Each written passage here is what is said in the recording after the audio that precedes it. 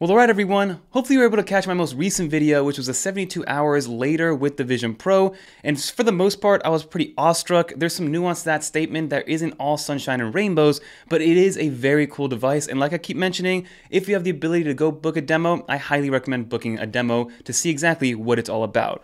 But in this video, what I want to do is give you guys seven tangible use cases that I plan on using most often, and I'm going to list these from my most used all the way to my least used, but these are seven use cases that I'm personally going to be using most often. Now, there are a bunch more use cases, and I will link some videos down below of some other awesome use cases that I've seen, but I wanted to give some people some ideas as to what to do with their brand new Vision Pro, or if you're planning on getting a Vision Pro. Without further ado, let's get into use case one, which is what I think is going to be the most common for the working at home individual or anybody that works at an office desk.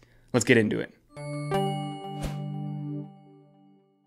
Alright, so most of these are going to be kind of on the content side, but the number one thing that I'm going to be using the Vision Pro for from a productivity side is to use my Vision Pro as a secondary display or secondary monitor to my MacBook. So as you guys can see, I'm going to get rid of this kind of menu right here, or the dashboard, get rid of it.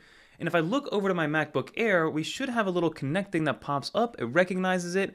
We'll tap here, and basically magically turns everything black and then gives you a large secondary display. So I'm looking over here, this is an AirPlay display from my MacBook. So all the compute and all the stuff that's happening on the computer side is still happening on device on the MacBook Air, but what basically is happening is that AirPlay is being used as a medium to then be able to, you know, have this Vision OS type interface. Now, this is still Mac OS, like I'm using my peripherals, I have this Logitech mouse, my Satechi keyboard. If I go on here and start typing stuff out, you know, ESPN, if I can spell correctly. But as you can see, it works amazingly. Now, you can only have one external display running at a time, so even if you have like an M3 Pro or M3 Max, you will still be limited to one display. I originally thought it was just a limitation of my M2 chip because I don't have an M2 Pro or M2 Max. So as of right now, you can only have one external display, but again, you can move it as big as you want, make it bigger, of like I said. I can grab it from the bottom and put it like above my head if I want to. And what's awesome is I can still even have other applications. So if I want to open up, let's say Safari over here, Safari does open. Let's grab this over here. And now I have Safari up there, and then my window, actual computer right here, and I can actually bring this super close to myself if I want to. Make it a little bit smaller, and look how small I can make my, my monitor. I can grab it if I want and bring it over to me.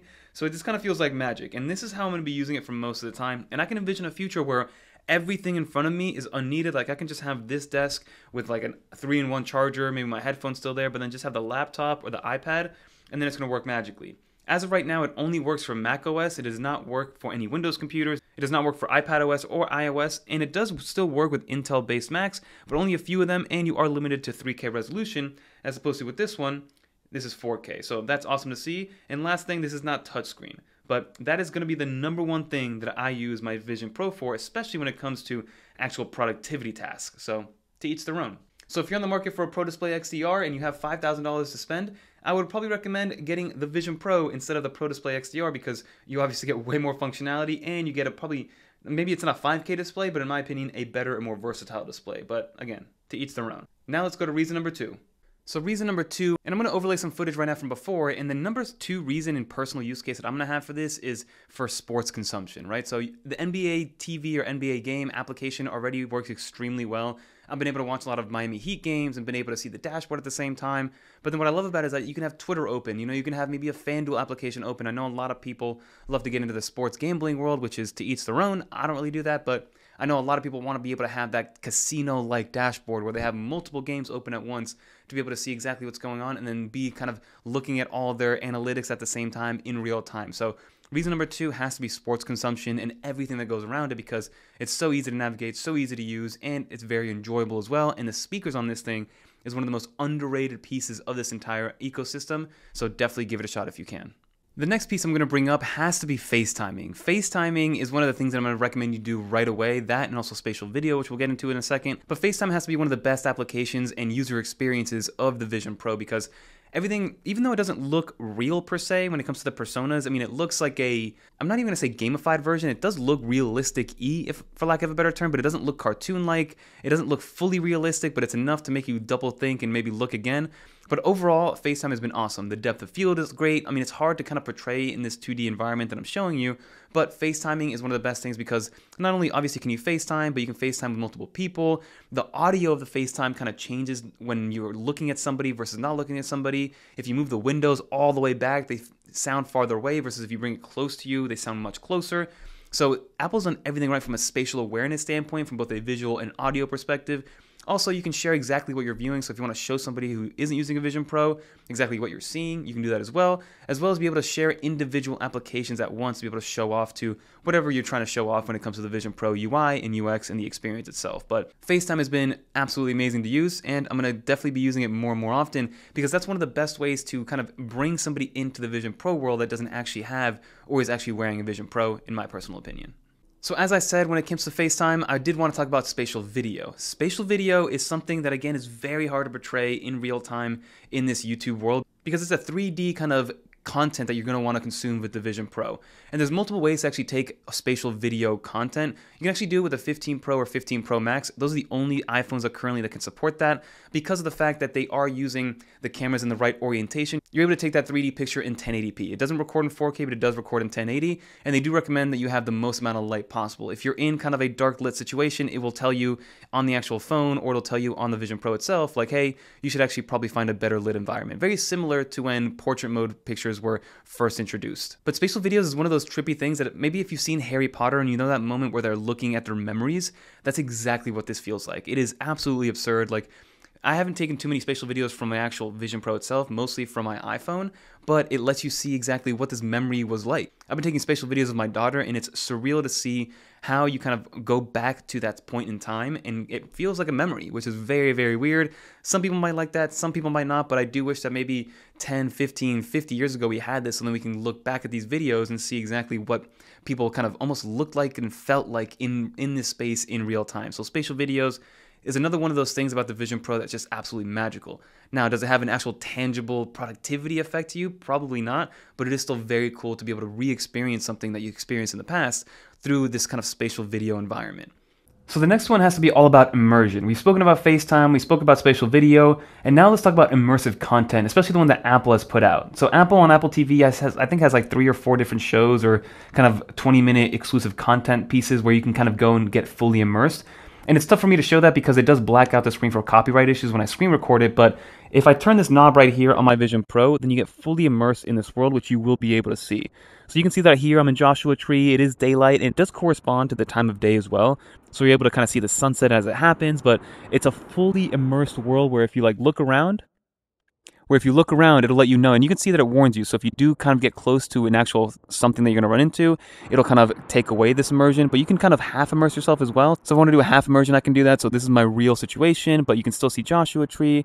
Full immersion is here. And then also you can see there's a little volume button there because also you hear kind of like the little critters and the wind and like rocks moving and all this stuff that's happening. And of course, you can still immerse yourself in whatever content you want. So this can be like almost your wallpaper to whatever you're doing. So if I want to open, let's say, you know, the settings application, I now have that and I can move it over here. And it's just very cool to be able to do this. And they have a bunch of different ones, but I do recommend again, go book yourself a demo because the immersive video is what really sets this thing apart. It's absolutely amazing.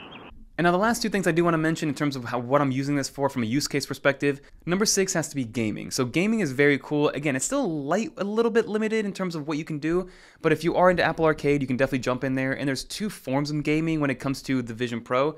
First is, is an immersive type of gaming, so it's games built for Vision OS. There aren't too many in Apple Arcade. There's a couple ones like some classics like Cut the Rope, Fruit Ninja. There's a couple like DJ ones, maybe like a Beat Saber competitor, things like that. And they are very cool, right? They're exactly what you expect. They're immersive games. Like Fruit Ninja is crazy. Fruit Ninja is like they're putting people and little things around you, and it's very spatially aware. Now, it does take a little while to load, and the games still aren't perfect. Like, you can tell that it's using a lot of the horsepower from the computer in the Vision Pro, but when they work, they work extremely well. And the second type of gaming is your more traditional gaming where you're using the window as an actual window to the game itself. For example, NBA 2K in Apple Arcade, it works with an Xbox controller or a PlayStation or an MFI controller, and you're just gaming on a 20 foot screen and you're playing full on NBA 2K. And that's just the beginning because things like Xbox Cloud Gaming should be coming out here soon. We should be getting some form of like Steam Deck with this ability to now have third party side loading and things like that. So gaming is just going to get better and better on the Vision Pro. When it comes to Vision Pro specific gaming, that's where maybe there still is a little bit more yet to be seen, but those are more proof of concept. Like there's a cool Lego game, there's a cool kind of like you know solitaire game or you know card game that looks like you're actually sitting at a poker table. All things that I highly encourage you guys try out. And then the last thing I want to mention is just overall multitasking. The amount of windows that I've been able to have open and have them open kind of confidently is absolutely absurd. Again, this is a tiny computer. This is the only thing that's computing right now is on your face. So the fact that I can have like 12, 15, 20 different windows open, all doing multiple things at once, is absolutely absurd. So the Vision Pro has been really, really nice when it comes to being able to kind of experience what the future should be like eventually, right? Not this isn't for everybody right away. There still are some learning curves. Like it's still not a productivity machine. I still wouldn't say like, hey, throw away your MacBook and only use this because there's a, a ton of use cases where your MacBook is still or your computer is still going to be far superior from a work perspective on the Vision Pro. But overall, it's just a very cool thing to demo out and try out. So highly recommend you guys try it out. And those are my seven real tangible use cases of the Vision Pro itself. And that will just about do for this video, everybody. Like you saw, there's a bunch of awesome use cases, and for the most part, it does revolve around media consumption.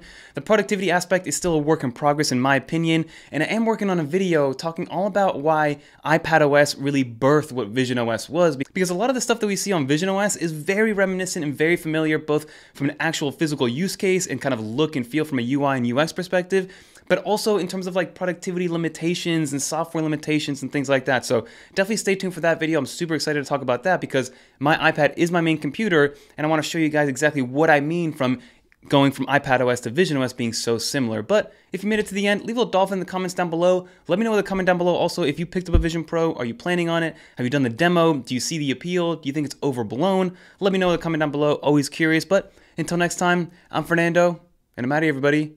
Peace.